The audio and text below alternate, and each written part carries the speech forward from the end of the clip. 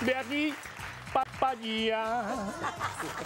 La gran estrella, la diosa con nosotros, señores.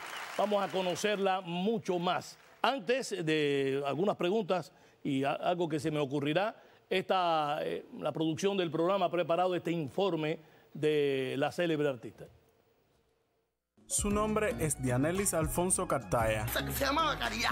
Corten, corten, corten. Bienvenida, diosa. Hablemos de la diosa cubana. Y ha llegado la diosa de Cuba.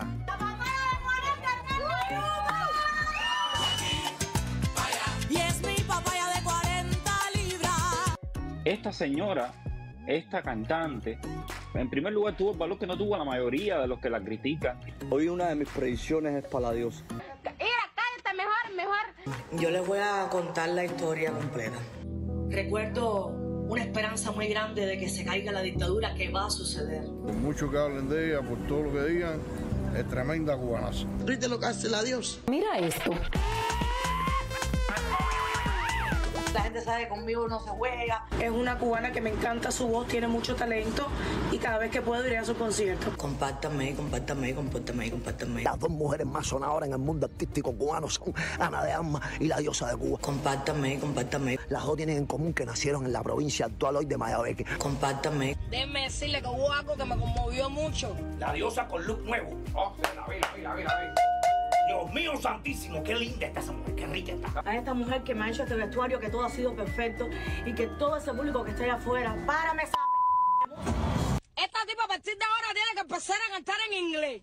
¿Quiénes nos creemos para andar juzgando a los demás como si fuéramos Dios? Primero que todo analicen y se pongan en mis zapatos. El premio Billboard de la música latina es para... Es de la diosa, caballero. No quiero perder más tiempo, quiero, quiero, quiero, quiero vivir mi carrera a plenitud. a no poder hacer lo que tú querías hacer y a tener esa censura y esa psicológica.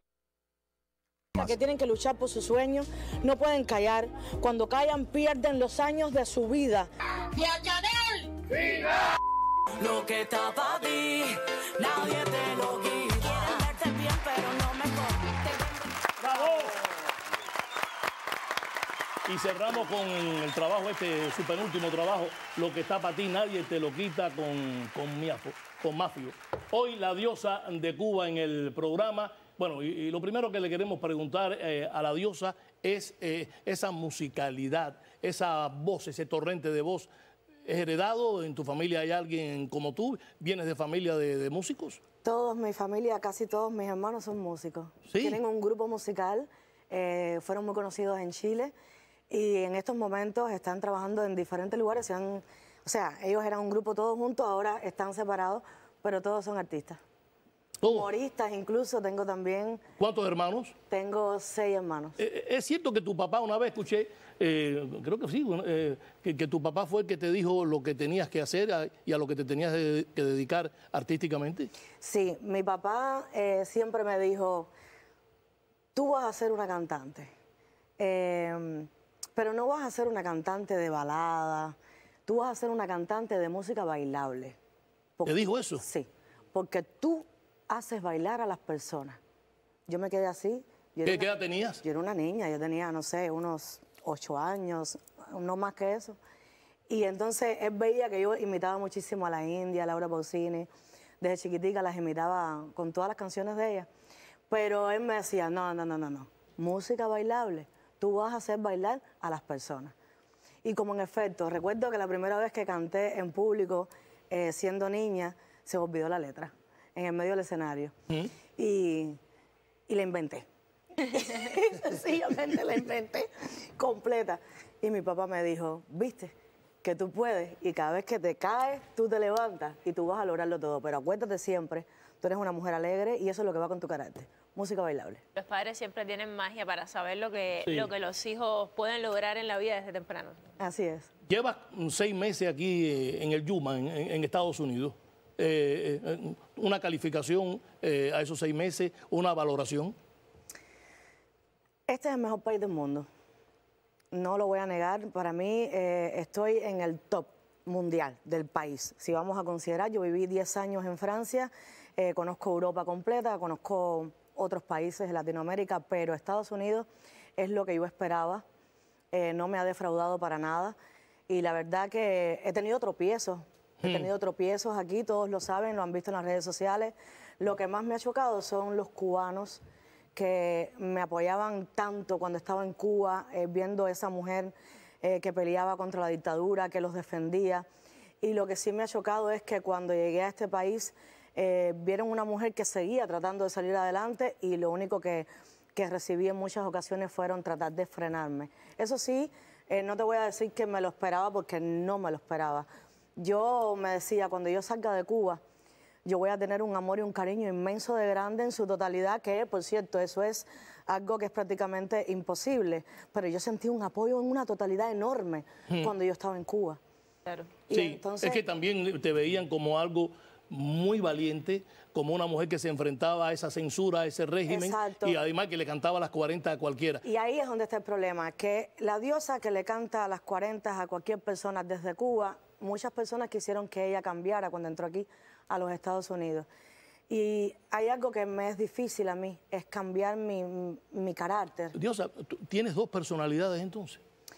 Mira, yo soy una mujer muy sensible, aunque tú Porque no ahora, ahora yo estoy con, estamos conversando aquí y los televidentes están disfrutando ahora de, de una artista fluida, aristócrata, con una con ternura eh, tremenda. Eh, sin embargo, te puedes desdoblar en Yo- un fenómeno que vemos en las redes. Yo me sé comportar en un lugar así. Yo eh, respeto a todas las personas que están ahora mismo presentes y puedo hablar de esta manera. El tema es que cuando yo me encabrono, Ese es el problema. es ahí está el problema. Yo no, no me sé controlar. Entonces saco esa diosa eh, que conocen ustedes de mí y no lo puedo evitar. Pero también, también cuando te agreden. Cuando me agreden, siempre cuando me agreden. Yo no voy a buscar nunca un problema, eso no existe. Si pueden mirar en todas mis historias en las redes sociales, siempre salgo a, a- defenderme. ¿Me comprende? Pero no, no logro salir a defenderme de, por favor, no lo hagas más, está mal. Lo que... Sí, No. pero, pero, pero, pero en ti, en ti, en ti vive ese otro personaje. que A mí me que hay- encantaría que hay que- ser esta mujer todo el tiempo. Sí, pero, Pero no te dejan. No me dejan. eh, de, de- de niña, ¿cómo eras? De niña yo era una niña buena. ¿Sí? Sí, yo no era una niña mala, era una niña buena que también eh, me defendía si me quitaban la merienda, te daba galletas y todo, Pero no me quites la merienda. Era una niña buena, podía incluso enseñarte, eh, si tú no estudiaste, las tareas y, te- y- y las pruebas y te las daba, Mm. pero no me hagas daño. Si me haces daño, te jodes. Sí, entonces, entonces esa es la diosa, Esa que, es la diosa. que sale eh, muchas veces en redes sociales. El carácter que yo tengo es Claro. el carácter de mi padre. Exactamente el carácter de mi padre. Mi papá era exactamente como yo. Y mi mamá, sin embargo, era una mujer que jamás en la vida dijo ni una sola mala palabra. Entonces, ese es el momento en que yo digo que yo saqué de ella la parte educada que yo puedo tener en los momentos determinados, que yo sé hacerlo. Lo saqué de ella, pero Bueno, va- va- vamos a hacer una regresión, señores. Eh, eh, Liz y Janet y el maestro Arronte. Seguimos en vivo, señores, con la diosa en este show. Que- estamos eh, un poco recorriendo el pasado, la vida de la célebre artista, pero también estamos también para promocionar eh, el, el show. Eh, don, ¿Cuándo va a ser? tengo concierto en Flamingo ahora el 27 de abril. Flamingo Theater Bar, buen sitio ese. Exactamente. Y bueno, nada, estoy, eh, bueno, como ves ahí el flyer, quisiera, es mi primer Halloween. Ah, Sí. mira, claro, es tu Sí, primer porque Halloween. Wow, en Cuba, chévere. en Cuba nunca lo celebramos y la, sabemos el por qué. Sí. No tengo que explicar. Oye, y- me, me imagino que vas a, de, de qué vas a ir disfrazada. No te puedes imaginar. No, increíble. No te puedes me digas, imaginar. porque está, está aquí em, Rey Mago y entonces imagínate. No te puedes imaginar de que voy de No, no, Sexy no. seguro, sexy seguro. Está Rey Mago. o sea que Bueno, bueno, bueno, si lo quieres ver sexy. me da, me da algo, me da, me da ser sexy también. ya verás ya. ¿Te acuerdas de eso después? Ah, después que me veas. lo voy a chequear, Después diosa. que me veas me dice. Ok, si ¿Te era acuerdas sexy eso- de eso? Si era sexy. Bueno, señores, eh, la diosa, eh, eh, vamos a recorrer un poquitico eh, su infancia a través del segmento La música de tu vida, tu banda sonora. A ver quién eres tú en tu banda sonora y el segmento se llama La música de tu vida. Y cuando hablamos muy temprano, mencionaste esta canción. Dice que esta es la canción de tu infancia, nada más y nada menos que Laura Pausini. Así es. Eh, esta es una canción, y dime todo lo que recuerda, lo que la casa, eh, tus padres. Vamos a escuchar ya.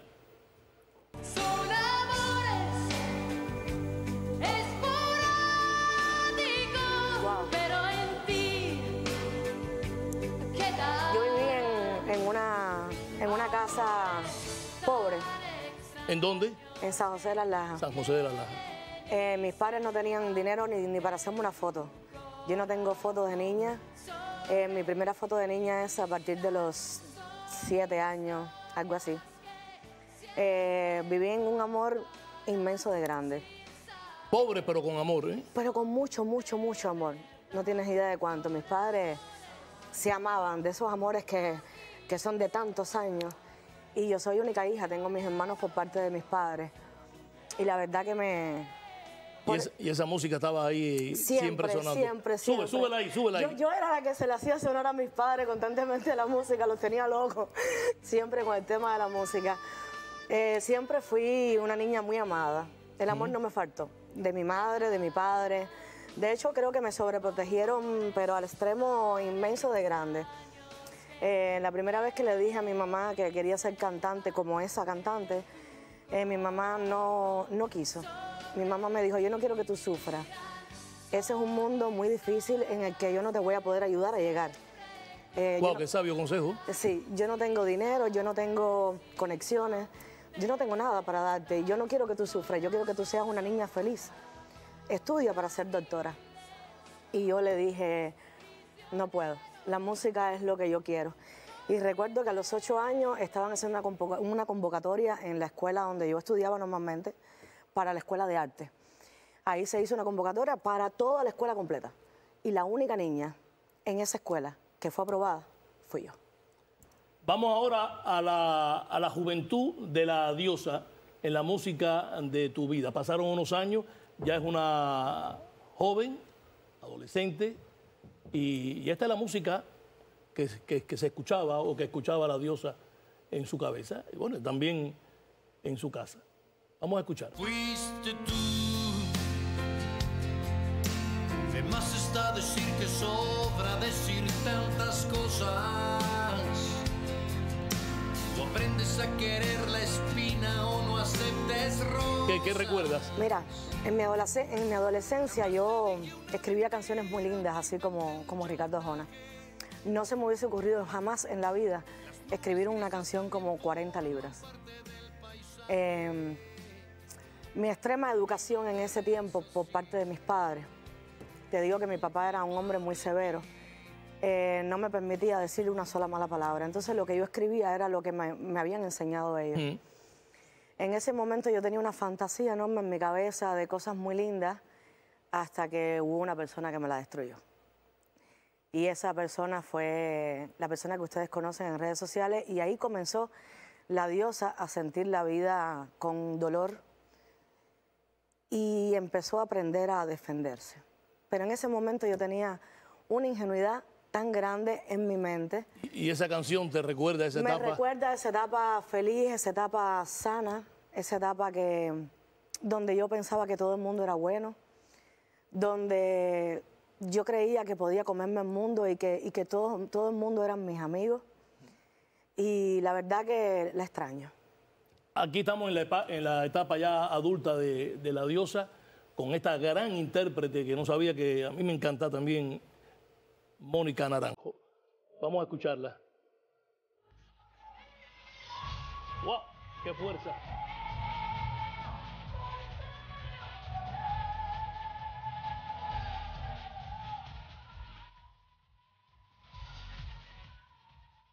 ¿Qué representa?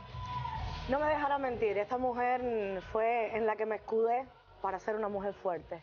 Me puse el color de pelo como lo tenía ella, mitad blanco, mitad negro. Y dije que no me iba a quitar ese color de pelo hasta que no la conociera y logré conocerla. Salí además en un video con ella.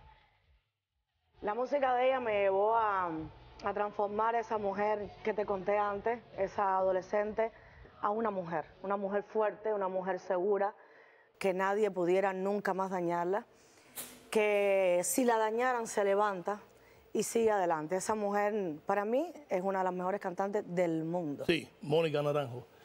Señores, eh, otra sorpresilla para la, la diosa. Sabemos que, que tu cantante preferido, sus composiciones, tu- su poesía y también su, su voz y su físico son de tu agrado. Hoy ha estado con nosotros desde un principio, estaba preocupado porque te habías demorado mucho. Y te, y te escribió una canción utilizando una de sus grandes melodías, ¿no, maestro? Sí, de Señora de las Cuatro Décadas. Y escribo, bueno, casi improvisado aquí con, con tu productor, que, con Alejandro, que es un loco. Sí.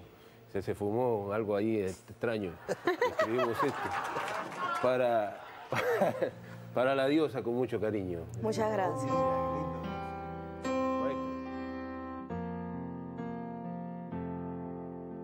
Ay diosa, vas pa' cuatro décadas y lo tuyo en la vida es cantar. Tienes un carácter difícil y con todos te quieres fajar. Aunque eso es normal, el que te critique lo destruirás. Ay diosa, vas pa' cuatro décadas y yo me quisiera hundir en el pozo por debajo del agua y ahí bajo ponerme a ahogar porque lo mío contigo es gozar. Mi diosa ay dame tus 40 libras me gusta la fruta bomba y el melón. Mi diosa Deja ese rey con su varita, que yo tengo una varita más mejor. Porque no se hace al hacer el amor, es que ya no funciona, no se excita ni con dos de veinte. Bótalo así de repente, que yo te mantendré como reina, como la diosa que eres tú. Muchas gracias.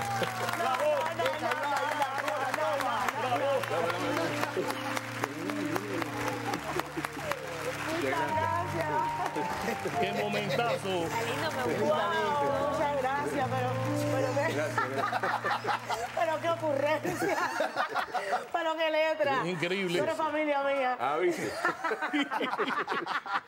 Qué lindo, qué lindo. Qué lindo ver a Arjona cantando. de- Diosa, ya va para cuatro décadas. Increíble el, el Qué Arjona temón, este. qué temón. Sí. Señores, vamos a una pausa y seguimos eh, disfrutando de este programa especial. Ya volvemos. Lo, que te- lo primero que te venga a la cabeza.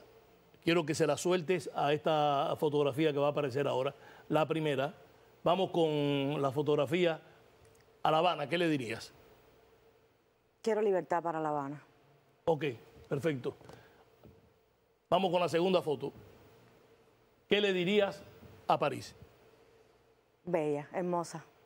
París es bella. ¿Sí? Hay que conocerla. En francés, yo sé que tú hablas francés, algo a París en Paris, francés. il est très belle. Il faut aller à Paris, des vacances. Ça fait beau plaisir. Ya, ok. Y ahora vamos con esta fotografía a Miami. Miami fue mi libertad, fue mi salvación, la mía. Desde el fondo de mi corazón siempre voy a, a tener agradecimiento para Miami. Siempre. Bueno, Muy bien, la diosa, un aplauso. señores, vamos a recordar la presentación de la diosa en este eh, sitio IN de la ciudad de Miami. Ahí está. Flamingo Theater Bar, la diosa. Ven con tu mejor disfraz. Ay, Es qué una- disfrazado. es Sí, vamos a dar tres regalos, tres- al mejor, a los tres mejores disfraces. Eh, yo estoy emocionada con eso, es mi primera, mi primera vez que voy a disfrazarme. Halloween, Sí, sí, sí. qué chévere. Y, y primera vez que voy a, a vivir ese momento, ¿no? De, de- de todos disfrazados. Ya te digo, me parezco una niñita con eso. parezco una niñita con eso. Cuidado que no vaya alguno de Adán, ¿eh? porque hay gente atrevida en Sí, Halloween sí. aquí. ¿Tú, tú de qué te disfrazarías? ¿Eh? ¿De qué te disfrazarías? Yo me, en- en- me he disfrazado, yo, yo tengo buenos disfraces, pero ahora De papaya. Dice que sí, de papaya, de, de vampiro a veces me vampiro. ¿Y tú, ¿Y tú a ti qué te gustaría? No sé, pero este año venía con un disfraz de policía. ¿Verdad? Wow, ¿y Arjona? ¿Y Arjona? Bueno, me gustaría, no sé, disfrazarme de, de pobre. De pobre. ya que eres rico. Está o Yo lo, disfrazado. yo lo disfrazaría de Carlos Varela. Pudiera ser. Yo sabía, no me lo. Yo ¿Y sabía. tú? que Yo, me yo, lo me- yo de pirata y que, que algo para mm, algo en la mano para tomar. Dice Sí, Rey sí, que algo se quiere pirata. disfrazar. Señores. Dice Rey que se quiere disfrazar de Fidel Castro Río y le dije que le voy a poner el divorcio. Rey, no lo hagas. No, no lo hagas que trae mala suerte aquí. Vamos a disfrutar la